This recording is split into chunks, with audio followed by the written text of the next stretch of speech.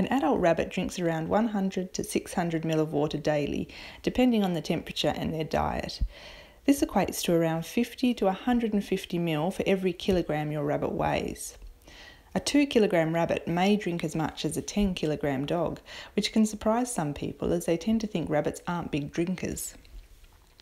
Uh, a rabbit whose diet is mostly made up of fresh green grass and green vegetables is going to drink less than a rabbit whose diet is primarily made up of hay, some vegetables, and some pellets, as the grass and green vegetables have a higher moisture content, which allows the bunny to get some of their needed daily fluids through their food. It is important to take note of how much your rabbit usually drinks in a day so that you can become familiar with their norm and are able to notice if this changes. As I mentioned earlier, water consumption can vary with temperature and diet, but a variation in how much your rabbit is drinking can also be an indication of illness, so it's a good thing to be able to monitor.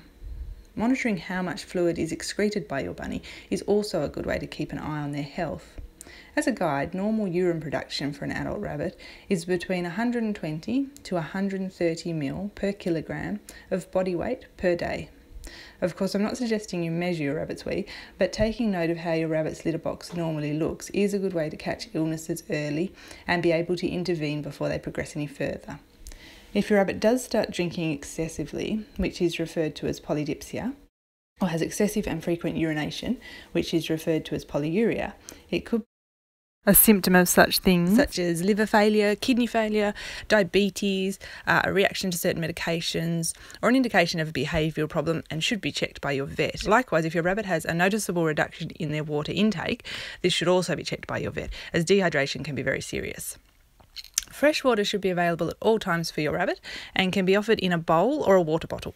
I prefer bowls as I feel water bottles make it a lot harder work for the rabbit to get the fluids they need. Uh, when I first got my oldest rabbits, Coke on Snowflake, I bought them a water bottle as I didn't realise that they didn't know how to drink from one. They could only drink from a bowl. Um, and I finally figured this out when I brought them home after seeing they hadn't touched the bottle at all, like for hours. Um, so I gave them a bowl of water from which they at once drank a lot straight away. So it's a good thing to keep in mind when you are organising a pen or a new area for a new rabbit.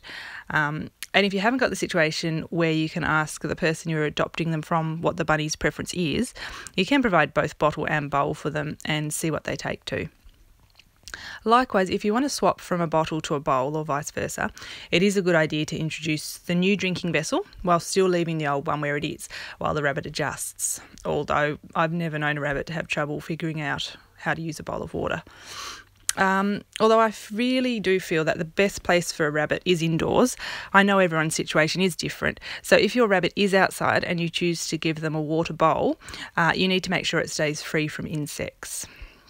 Uh, regardless as to if your rabbit is indoors or outdoors, you need to choose a large and flat based, heavy uh, weight bowl for their water so that it can't easily be tipped over and spilt.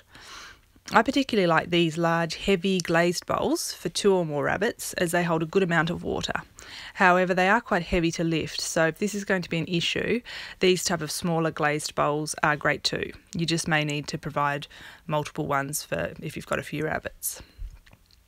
If you choose a water bottle for your bunny, you need to regularly check that the dripper spout isn't blocked and restricting the water flow. Uh, you can get a variety of water bottles of different sizes and designs. Some are made from glass and some from plastic, and you can now also get freeze resistant ones, which are a great idea if your bunny is outside. With an outdoor rabbit, you must make sure that their water isn't frozen during the winter. This applies to both bowl and bottle. Your rabbit's water should be changed at least once a day. I wash the bowls with a sponge and hot water daily just to make sure that any build-up of slime from backwashing the water is scrubbed right off the bowl.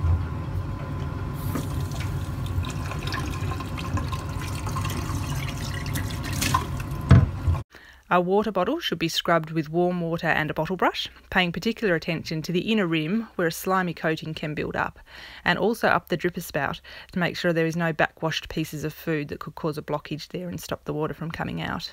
Once I've cleaned the bowls, I can then fill straight from the tap with cold water, as I have a whole house water filter connected to my mains water inlet.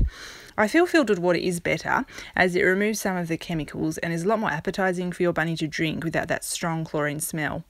Also, if you're in an area where you have hard water, that's water with a high mineral content, some water filters are capable of removing the excess amounts of calcium in that sort of water, which, as I mentioned in my previous video on hay, is not good for rabbits.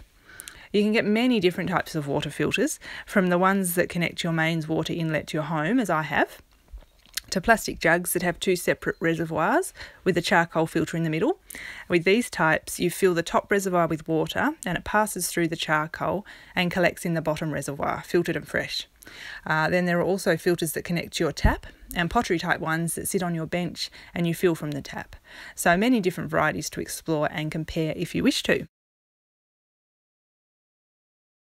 Okay, that's all on water for this video.